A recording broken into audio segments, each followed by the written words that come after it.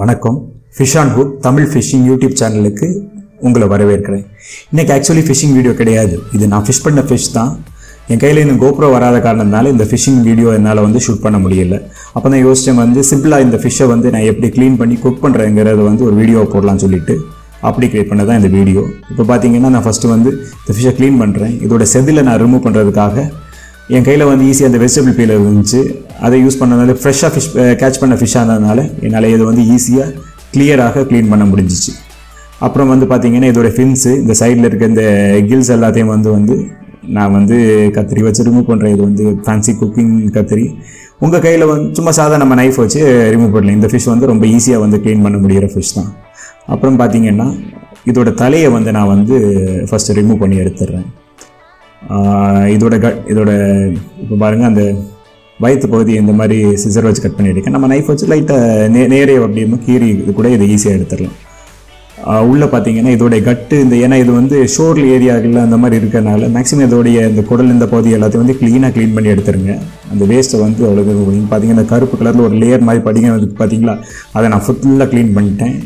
அது அதை என்னால் சு- காமிக்க முடியல. அது வந்து ஃபுல்லாக க்ளீன் ஆகிடுச்சு இப்போ பார்த்தீங்கன்னா ஆக்சுவலி நான் வந்து கொஞ்சம் ஃபேன்சி டைப்பில் ஃபில்லப் ஃபில்லே இப்போ ஃபில்லே ஸ்டைலில் பண்ணியிருக்கேன். இந்த இங்கிலீஷ் சேனல்லலாம் போட்டிருப்பாங்களே ஏன் பண்ணேன் அப்படின்னா வந்து இதோடைய நடு எலும்பை வந்து என்னால் நடு முள்ளை வந்து தனியே எடுக்கணும்னு எனக்கு இன்ட்ரெஸ்ட்டு ஏன்னா வந்து என்னுடைய மகளுக்கு வந்து அது கிறிஸ்பியாக பொரிச்சா வந்து சாப்பிட்றதுல ரொம்ப ஆசைப்படுவாள் அதான் நான் பார்த்தீங்கன்னா இது ஃபில்லே ஸ்டைலில் ரெண்டு சைடு ரெண்டு சைடும் இது பண்ணுறேன் ஆக்சுவலி இது ரொம்ப சின்ன மீன் தான்.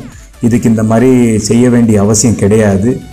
ஓகே ஏன்னா நாங்கள் வீட்டில் இந்த மாதிரி முன்னாடி பண்ணியிருக்கோம். அதனால் வந்து நான் இதை ஃபில்லே பண்ணேன். பாருங்கள் இது ஃபில்லே பண்ணி முடித்த பிறகு நான் காமிக்கிறேன் இது மூணு பீஸாக எப்படி இருக்குங்கிறத.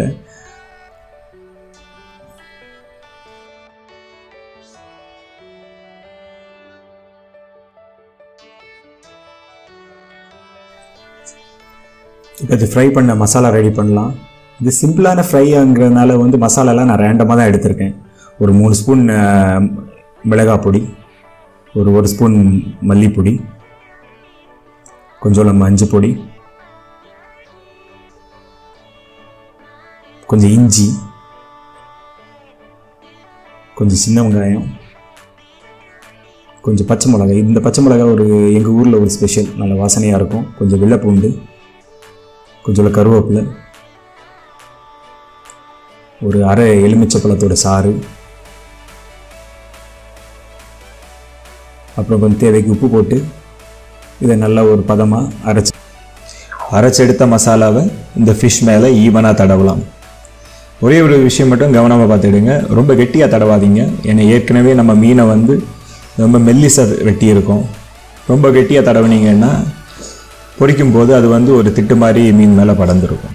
அவ்வளோதான் மற்றபடி எல்லாமே சிம்பிள் தான். ஃபுல்லாக மசாலா தடவின பிறகு காமிக்கிறேன். பார்த்தீங்களா இப்போ வந்து மசாலாவை நம்ம ஈவனாக தடவி தடவியாச்சு.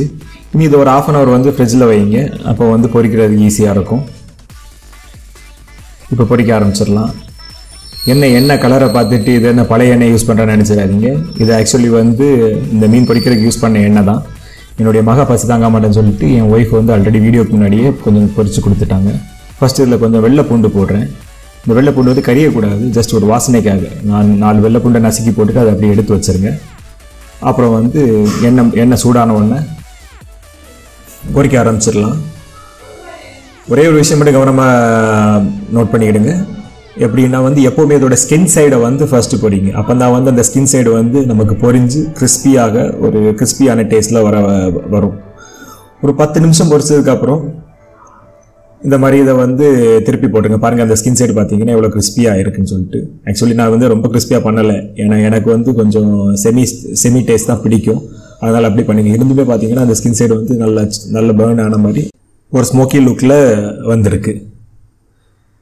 இப்படி செய்ய வேண்டியதெல்லாம் ஒரு அஞ்சு நிமிஷம் கூட வெயிட் பண்ணிவிட்டு இந்த மீனை இறக்கிற வேண்டியதான் அவ்வளோதான் மீன் மீன் சூப்பராக பொரிஞ்சாச்சு. என்னுடைய டேஸ்ட்டுக்கு ஏற்ற மாதிரி பொரிஞ்சாச்சு. உங்கள் டேஸ்ட்டுக்கு மேபி இது கொஞ்சம் கூட வந்து கிறிஸ்பியாக முறுக்கு மாதிரி வந்து பண்ண ஆசைப்படுவீங்க. அது உங்களுடைய விருப்பத்தை பொறுத்து இருக்கு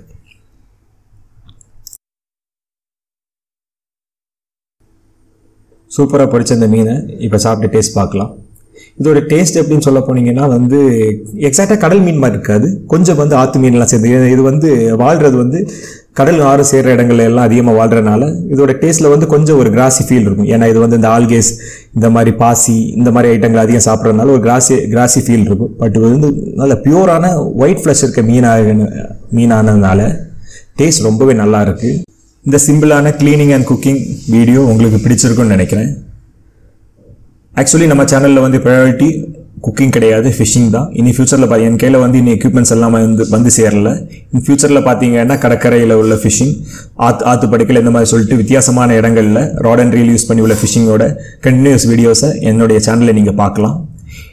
என்னுடைய சேனலோட கண்டென்ட் உங்களுக்கு பிடிச்சிருந்ததுன்னா கண்டிப்பாக சப்ஸ்கிரைப் பண்ணுங்கள் ஃப்ரெண்ட்ஸ் அண்ட் ஃபேமிலிக்கு ஷேர் பண்ணுங்கள் fish on guys thank you